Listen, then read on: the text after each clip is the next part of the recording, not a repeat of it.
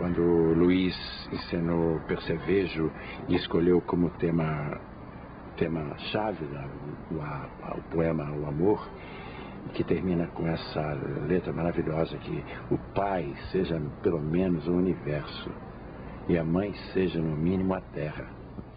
Bom, Percevejo estreou em 1981 aqui no Rio de Janeiro no Teatro Dulcina.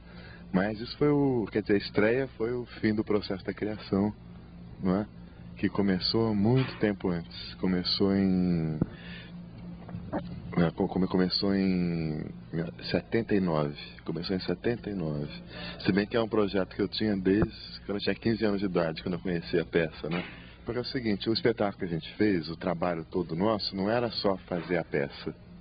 Não era só a peça, porque o Teatro do Mayakovsky, de uma certa forma, é um teatro assim, uh, meio datado historicamente, politicamente, sei lá. Quer dizer, em primeiro lugar, a gente reuniu todo o material que a gente conseguiu dele relacionado ao teatro e também à poesia em outras línguas, né? Porque em língua portuguesa tem pouca coisa do Mayakovsky, né? Quer dizer, tem, tem, tem, tem as excelentes traduções do, do Haroldo, do Augusto de Campos do Boris Schneiderman, mas não tem mais nada que isso, né? Então a gente jogou fora 50% da peça e para compensar esses 50% que a gente tirou, nós pegamos 50% de outros trabalhos do Mayakovsky. Porque a, a vida do Mayakovsky é uma coisa tão...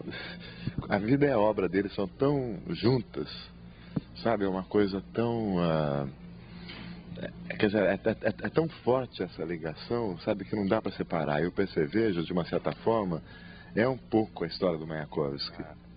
A fidelidade não é a, a, a, a transposição pura e simples, sabe? De, de fazer como era.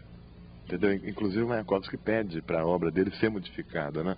No prefácio da peça Mistério Bufo, ele diz que as pessoas do futuro que forem montar essa peça, elas devem, elas, elas têm que mudar, elas têm que mexer no conteúdo, têm que tornar aquilo atual. Quer dizer, porque o trabalho do Mayakovsky é um, é um trabalho que fala do tempo presente, que é um mundo muito amplo. É o mundo do cinema, é o mundo do teatro, é o mundo do circo, é o da propaganda política, é o do teatro de agite próprio.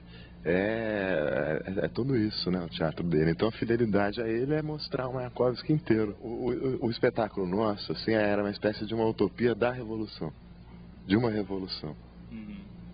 Entendeu? Uma revolução que morreu no começo, depois ela se congelou, depois ela descongelou, ressuscitou no final. Uhum. Então, no nosso tempo, a coisa principal acho que era essa. Uhum. Tá além da poesia, né? Que tá além de tudo isso que a gente tá falando. É, essa história de percevejo é aquela coisa ambígua, aquela faca de dois gumes, né?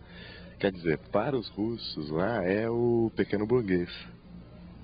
É o que, que o diretor zoológico, né, um papel que eu fazia, inclusive, né? No espetáculo, ele fala que são dois, né? Os inimigos da sociedade, sei lá como é que era aquilo. Ele fala que um é o filisteu vulgares, filisteus vulgares, e o percevejos normais, né? O percevejos normais, depois de sugar o sangue de um homem, né, ele cai em cima da cama com a barriga para cima. E o filisteus vulgares, depois de sugar o sangue de toda a humanidade, ele também cai na cama com a barriga para cima. Que essa que é a diferença dos dois. Um suga o sangue de uma pessoa e o outro da humanidade toda, né? no tempo do Mayakovsky e tal, esse PCV já era o pequeno burguês. Agora para nós não, para nós era um, sei lá o que, entendeu? Era uma coisa misteriosa. Era o próprio Mayakovsky, sabe? O companheiro da solidão dele, né? Pois é, quer dizer, o, o Caetano para o nosso espetáculo foi fundamental, porque assim como o Oswald de Andrade, ele tá o correspondente do Mayakovsky, do Teatro Mayakovsky aqui no Brasil, o Caetano é em termos de música. O Caetano é, ele tem esse lado futurista também, cubo futurista, construtivista do Mayakovsky, né? Porque o Mayakovsky não é uma coisa só, o Mayakovsky é, é futurista, é cubo futurista, é construtivista, é suprematista, sei lá, o Mayakovsky é tudo isso, né? Então é, esse lado de humor do Mayakovsky é muito, é, o Mayakovsky é um cara engraçado, muito engraçado, você morre de rir com ele entendeu? E agora que está aparecendo isso, né? Porque durante anos e anos e anos, né? O Mayakovsky vinha aquele cuecão, aquele cara chato do Partido Comunista falando aquelas verdades eternas, né? Mas não é só isso, não. O Mayakovsky é um sarro. e o Pai pelo menos o universo. E a mão